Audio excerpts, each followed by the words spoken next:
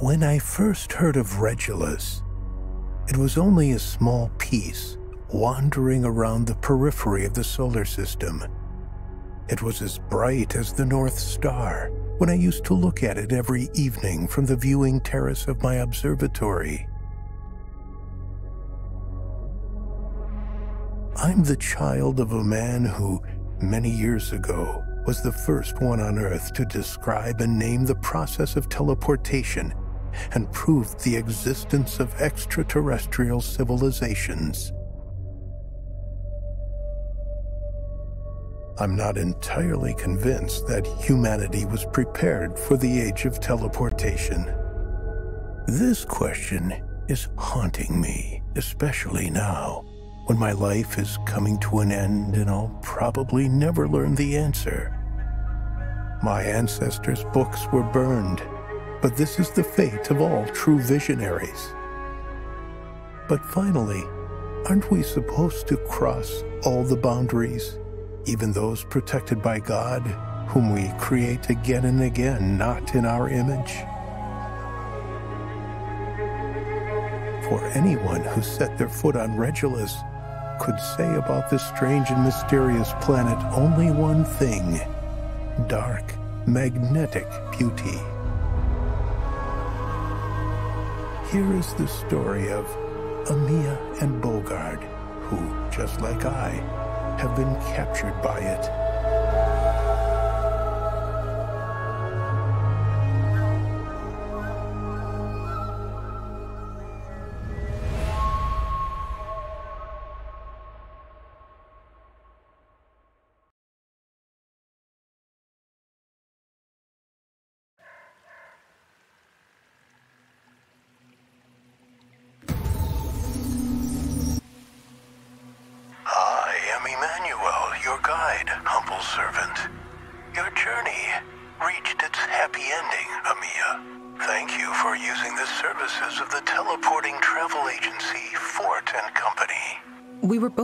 Be teleported to the Andromeda Hotel. What happened? Why is Bogard not here? We have minor technical issues. Nothing serious. To get to the hotel and meet Bogard, you have to take the elevator powered by a machine that is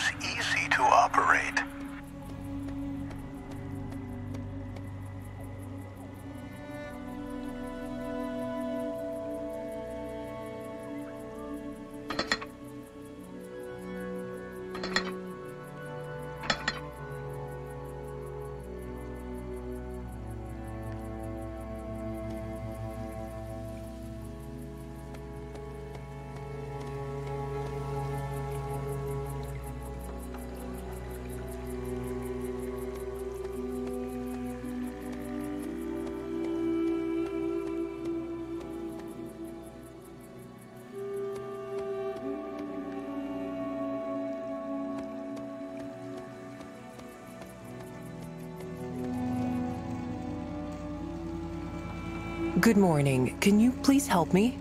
I'm not sure. I have been helping you for so long. Oh, for so long. I'm not sure if we understand each other well. I'm looking for... On this cursed planet, everyone is looking for something. You are neither the first nor the last. Why do you think I'm sitting on this bench? Because I enjoy so much the view of these bloody ferns? I'm here on a treatment to cure my infected lungs with Regulus air. Or maybe I'm the wife of an engineer who has lost his sanity in life? My dear. What does it mean, ma'am? Why do you think this planet is cursed? Every paradise finally becomes a curse, my love.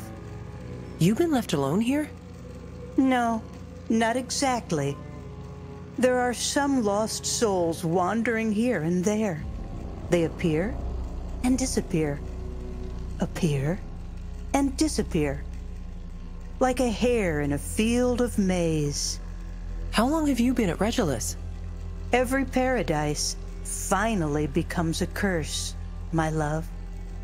Time. Time no longer matters. Will you answer my question, ma'am? Like a hare jumping in the field of maize, my love. Like a hare jumping in the field of maize. Oh.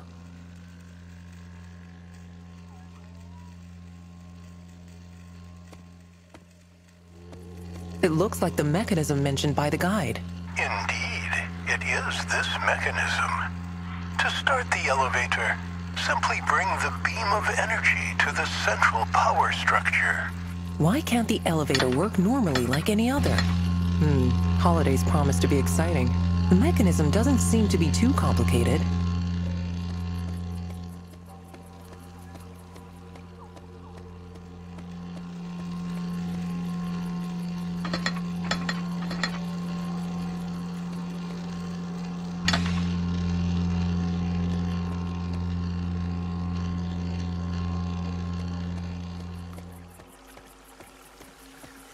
Show me the way to the hotel. I have to see Bogard. Start the elevator, and it will lead you to your destination. Where, guide?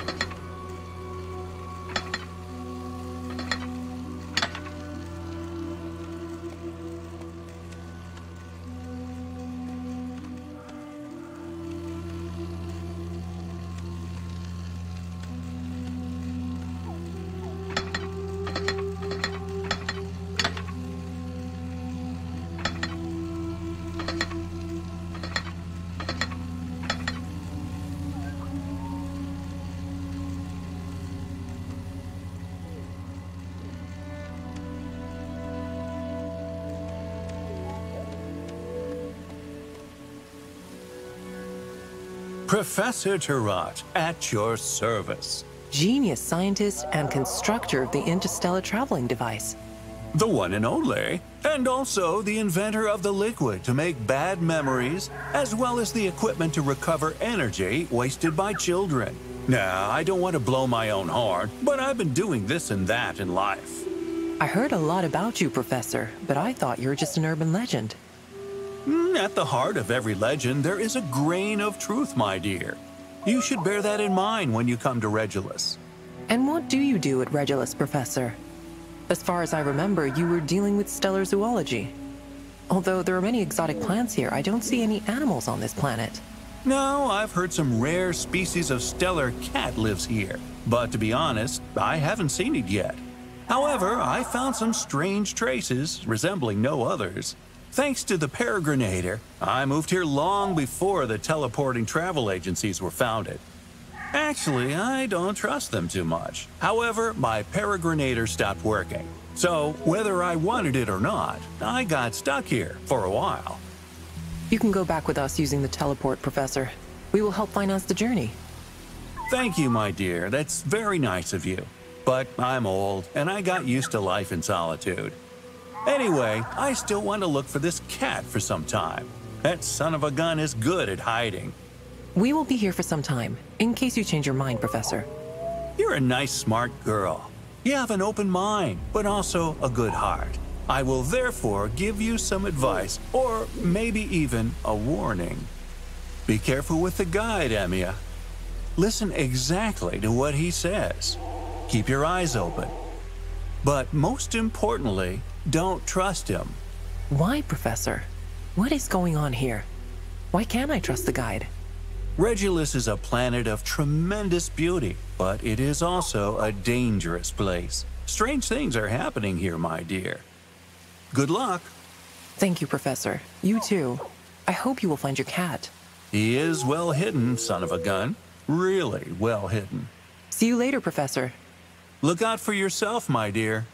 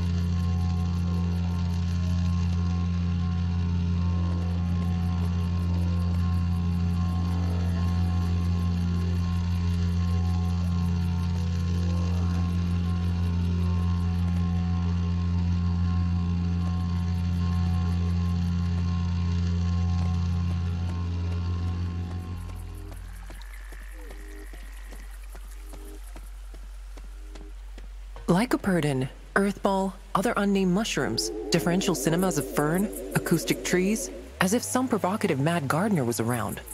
We're just missing a Mad Hatter. They tried to bring them in, Emiya, but the seeds mutated. They always do their best to make themselves at home.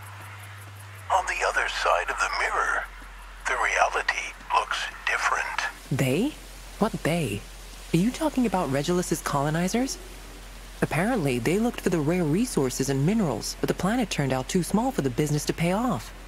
It's true. The syndicate of the colonizers and a few galactic explorers fought for a long time for influence over Regulus.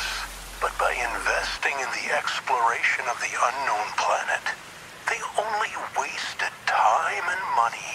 And you took advantage of the situation. Is a lucrative business nowadays. I bow to your intelligence. Your affiliation with the High IQ Society is not accidental.